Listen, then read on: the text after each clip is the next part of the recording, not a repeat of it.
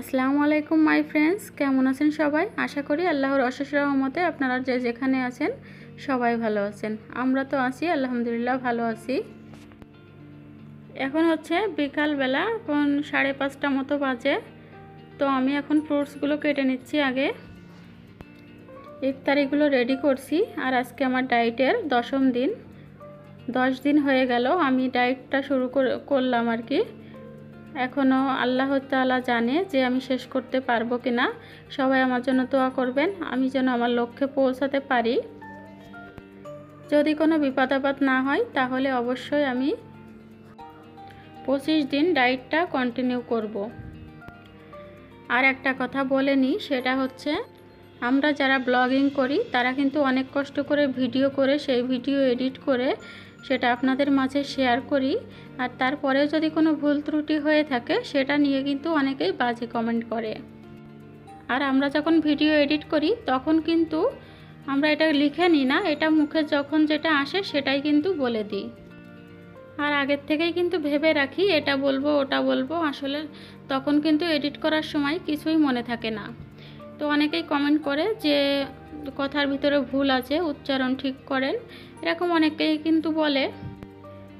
তো আমি তো আর এটা বই দেখে দেখে একটা ক্লিপস পড়ছি না, এটা হচ্ছে আমি আমার নিজের মন থেকে যেটা আসছে আমি সেটাই বলছি। তো যদি এটা ভুল হয়ে থাকে কোনো কথার ভিতরে, সেটা আপনারা ক্ষমার দৃষ্টিতে দেখবেন।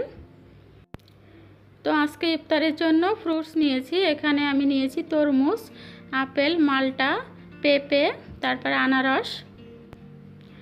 এই ফ্রুটসগুলো আজকে আমাদের ইফতারিতে থাকবে।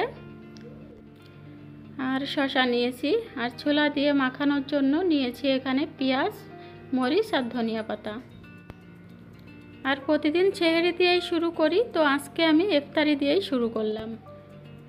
আজ দশ রোজার ডাইটে আমি ইফতারিতে কি খেলাম সেটি আগে দেখিয়ে তারপরে আমি সেহেরিতে কি খেয়েছি সেটি আপনাদের সাথে কিন্তু শেয়ার করব।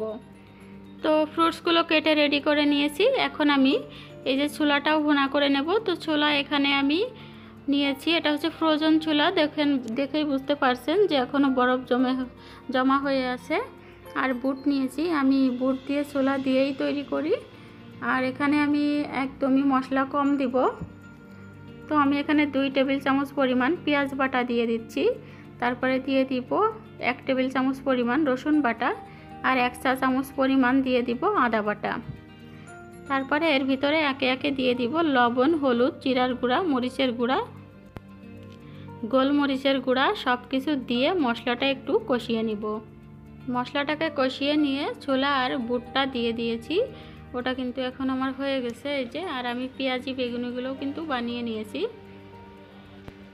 আর আজকে আমার বেগুনিগুলো তেমন ফুলেনি, কারণ হচ্ছে আমি এটা দুই তিন দিন আগে আর কি বেশি করে বেসন গুলিয়ে রেখেছিলাম ফ্রিজে। তো এই জন্য মনে হয় আজকে ফুলিনি আজকে অল্প ছিল, তো অল্প করেই বানিয়ে নিলাম। তো ইফতারি করতে বসে গেলাম। এখনই আজান দিয়ে দিবে। তো আমি এখানে দেখুন, এখানে ফল নিয়েছি, ফল আর শশা তাছাড়া আমি অন্য কিছুই খাব না। এখানে আমি আজকে ছোলাও খাব না, কারণ আমি এখানে ফলের পরিমাণটা বেশি নিয়েছি আর আপেলটা আমি এক পিস নিয়েছি, কারণ আপেলটা একটু মিষ্টি বেশি এই কারণে। আর তরমুজটা আমার পছন্দ বেশি, তো তরমুজ এখানে আপনারা দুই পিস দেখছেন, কিন্তু তরমুজটা কিন্তু আমি তিন, চার পিস খেয়েছি। আসলে তরমুজে কিন্তু একেবারেই ক্যালোরি কম, এটা সমস্যা নাই, বেশি খেলেও প্রবলেম হবে না, কারণ আমি তো খাচ্ছি। আর ওগুলো খাওয়া দাওয়ার পরে আমি ডিটাক্স ওয়াটারটা আর কি নামাজ পড়ে এসে খেয়েছি। তারপরে আমি চা খেয়েছি, ঘুমানোর আগে কফি খেয়ে নেব। যদি আমার খেতে ইচ্ছা হয়, যদি খিদা লাগে, তাহলে একটা বুলেট কফি খেয়ে নিব, কারণ বুলেট কফি খেলে কিন্তু অনেক এনার্জি পাওয়া যায়। আর যদি না ভালো লাগে, তাহলে কিছুই খাব না। এখন আমি গত রাত্রে সেহেরিতে কি খেয়েছি মানে কি খেয়ে রোজা রেখেছি, আমি সেটি এখন রান্না করে নিব। তো আমি এখন রান্না করে নিব, হচ্ছে এখানে নিয়েছি শাক, তো শাকগুলো আমি ধুয়ে নিচ্ছি, লাল শাক। এই শাকটা আমার একটুও খেতে ভালো লাগে না, তারপরেও ডায়েটের কারণে খাওয়া। এখন আসি মূল বিষয়তে, সেটা হচ্ছে আমার বেবির বয়স যখন ছয় মাস, তখন কিন্তু আমি অনেক মোটা ছিলাম, তখন আমি উনসত্তর কেজি ছিলাম। তো ছয় মাস কিন্তু আমি কোনো ডায়েট করিনি। তো ছয় মাস পর থেকে আমি আর কি ডায়েটটা শুরু করেছিলাম। তো ডায়েটটা এমনভাবে ডায়েট করেছি যে বাচ্চারও কোনো প্রবলেম হবে না, আবার আমারও কোনো প্রবলেম হবে না। আর ওজনটাও আমার খুব দ্রুত কমে গিয়েছিল। ছয় মাসে আমি তেইশ কেজি ওজন কমিয়েছিলাম। আমার বেবির বয়স যখন এক বছর, এক মাস, দুই মাস বয়স, তখন আমি এত রোগা হয়ে গেছিলাম যে আমাকে দেখলে মানুষ মানে কি বলতো, আমি যখন বাড়িতে যেতাম আমার বাবার বাড়িতে, সবাই আমাকে বলতো, কি রে, তুই কি কোনো রোগ থেকে উঠছিস? মানে এতটা শুকিয়ে গিয়েছিলাম। আর ওই সময় আমার ওজন ছিল ছেচল্লিশ কেজি। মোট তেইশ কেজি ওজন কমিয়েছিলাম। আসলে ওই সময় আমার ওয়েট মাপা মেশিনটা বাসায় ছিল না এই জন্য আমি এতটা শুকিয়ে গিয়েছিলাম। তো আমার ওজনটা আর কি আমি আরেকটু পরে বাড়িয়ে নিয়েছিলাম। চার পাঁচ কেজি, যখন আমার ওজনটা একান্ন কিংবা পঞ্চাশ কেজি ছিল, তখনই আর কি মানে ঠিক মতো ওজনটা আমি ধরে রেখেছিলাম প্রায় তিন বছর, চার বছর পর্যন্ত। চার বছর, এই যে আমার এক বছর হলো, আমার ওজনটা বেড়ে গেছে। বেড়ে সর্বোচ্চ ওজনটা হয়েছে আমার বাষট্টি কেজি। এই ওজনটাকে আমি কিটো ডায়েটের মাধ্যমে কমিয়ে নিয়ে এসেছিলাম আবারও পঞ্চান্ন ছাপ্পান্ন কেজিতে। কিন্তু এখন আবার আমার ওজনটাও একটু বেড়ে গেছে। মাঝে বাবার বাড়িতে গেছিলাম এই কারণে। তো এটা নিয়েও আমি একটা ভিডিও দিব আপনাদেরকে। কীভাবে আসলে আমি ওজনটা কমিয়েছিলাম, আজকে এই ভিডিওর ভিতরে বলা সম্ভব হচ্ছে না, কারণ ভিডিওটি অনেক বড় হয়ে যাবে এই কারণে।